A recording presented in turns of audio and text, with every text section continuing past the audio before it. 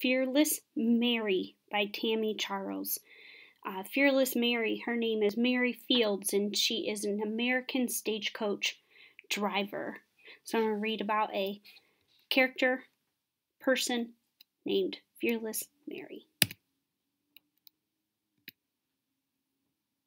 To Jennifer Charlize Peters, the most fearless woman I know, from the author, from the illustrator, to my sweet nieces, all six of them. And I notice on the wall there it says Help Wanted Stagecoach Driver. And this reminds me of the book I did a book talk on this year with the woman, the girl that wanted to be a stagecoach driver. And it kind of goes right along with Amelia Earhart and Billie Jean. This is a time where women were told no, that they could not do those kinds of things. So let's see what happens with Mary. In the city of Cascade, Montana, Mary Fields sees help wanted signs everywhere. The city needs a new stagecoach driver to make deliveries to a school, St. Peter's St. Peter's Mission. It's a good job, an important job, but a dangerous one too. It's 1895. Wow, that's a long time ago, huh? And I notice there's no cars, there's the stagecoaches, the wagons. So, also evidence this is a long time ago, right? Sending supplies and messages to Cascade is easy thanks to telegraphs and trains. But the trails that snake through the mountains up to St. Peter's make it almost impossible to reach.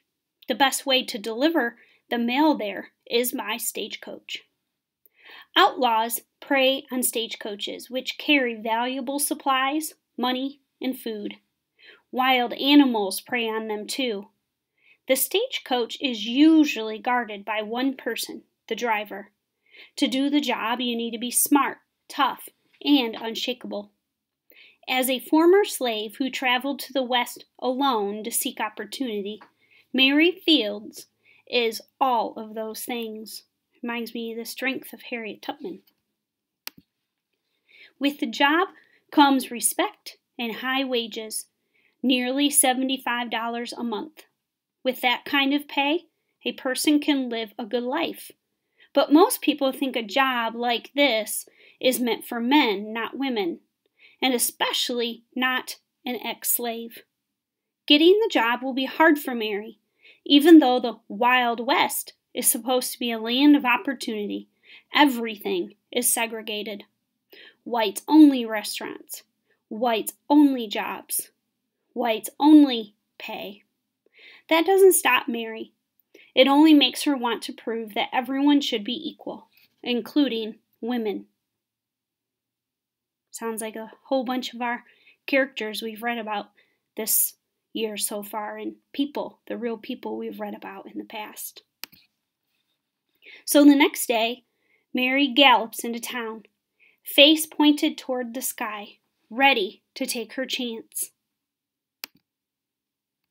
At least 40 cowboys try out for the job, and Mary steps right up with them. We don't hire people like you, the manager says. Mary stands tall and squares her shoulders. She lived the first 33 years of her life without freedom, and now she'd spend the rest of it making sure she got an equal shot at a good life. I'm Mary Fields. I can outride any man trying out for this job. Mary refuses to leave. She waits her turn to show what she can do. One by one, the cowboys try their best. They swing their lassos, saddle up the horses real fine. But Mary knows she can do that, and more. So she steps forward again, but the manager points. I said not you. You don't belong here. I'll show you I do. And she does. Mary hitches six horses, cracks her whip, speeds up the hill, and back around the horse's hooves clumping on earth shaking ground. She is a force. What? What? What's your name again? The manager asked. I'm Mary Fields, but you can call me Fearless. No need to look further. The job is hers.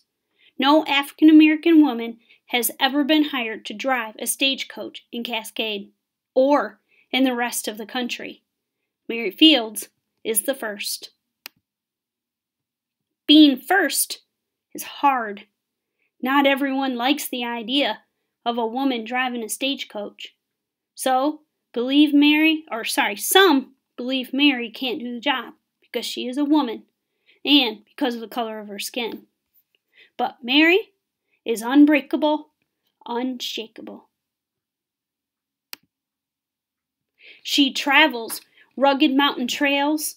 It's hard to navigate, but Mary can read all kinds of maps, including star patterns in the dark sky. Thieves try to steal from her wagon. Little do they know, Mary's got herself a pet eagle, trained as her faithful protector. They don't stand a chance. What a brilliant idea. On one moonless night, Mary's wagon hits a gully. Horse screams pierce the air, packages fly everywhere, and a gang of hungry wolves creeps out from the shadows. Mary's cargo is important food to feed the school children, letters for loved ones sent from far away. It's her job to protect her, horses and make sure the children at St. Peter's receive their packages. Mary stands guard all night, iron weapon pressed against her back. With the eagle at her side, she keeps the wolves at bay until the sun rises and chases them away. Mary never loses a single horse or package. Now I'm really seeing the evidence of why she is called fearless. Fearless Mary. Word of Mary's courage spreads throughout Cascade. She becomes a hometown hero, the stagecoach driver who fended off wolves, trudged through heavy snow, and never missed a single day of work. No task was too small, no task too dangerous, and in time she would become known as a groundbreaker, a history maker. Mary rides those trails for eight years until she is in her 70s. More women begin to drive stagecoaches and deliver mail across the United States.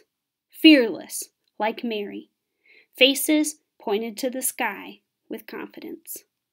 As the years go by, cars, telephones, and airplanes are invented. Delivering the mail becomes easier, less dangerous, and thanks to Mary and others like her, a job held by many women. Today, Mary's bravery is remembered in Cascade and throughout the country. Delivery men and women still face long days on the road and harsh weather at times, but nothing like the dangers Mary faced in the Wild West. Every now and then, if you listen closely, you'll hear her voice whispering in the wind. I'm Mary Fields, but you can call me Fearless.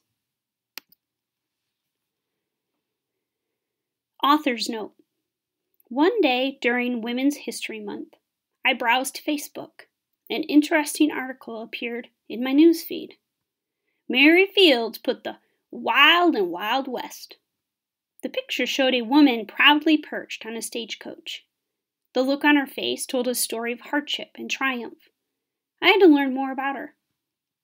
Finding information about Mary Fields wasn't easy, though the Smithsonian Smithsonian efforts are sorry, offers great resources about the history of women in the Postal Service. Many accounts of Mary's life are spotty and conflicting, but all agree that she is fearless that she fearlessly stood against prejudice and applied for one of the most dangerous jobs in the Wild West. The odds were stacked against her. She was a former slave who still faced racial discrimination, and she was a woman trying out for what many considered a man's job, and she was in her 60s. I wrote Fearless Mary to imagine how she earned the job as a mail carrier and won the hearts of the people of Cascade, Montana. There's no record of the conversation between Mary Fields and the stagecoach hiring manager, but I base their dialogue on what I've learned about Mary and the resistance she faced as she forged her path. Additionally, Mary's encounter with a wolf occurred before she was hired, back when she worked for the St. Peter's Mission and often ran deliveries through Cascade. But the encounter is a memorable example of the bravery and reliability she was known for as a stagecoach driver. Mary Fields didn't allow prejudice, prejudices to hold her back from accomplishing her goals. She is an unsung hero, one whose name should be recognized for all she did and everything she stood for. Mary Fields inspires me to be fearless, and I hope she'll do the same for you. Written by Tami Charles. And on the picture it says, Call her a legend, call her a trailblazer, call her fearless.